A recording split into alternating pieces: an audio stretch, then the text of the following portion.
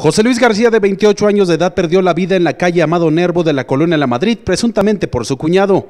En una discusión aparentemente se dio después de estar ingiriendo bebidas etílicas. El ahora fallecido, a causa de una puñalada en el pecho, los familiares hicieron el llamado a la Cruz Roja. Los paramédicos ya no pudieron hacer nada al arribar al lugar, pues José Luis ya no presentaba signos vitales. A la casa marcada con el número 1050 de la calle Amado Nervo de dicho sector, llegaron elementos de la policía ministerial para dar al fe del cuerpo sin vida de esta persona.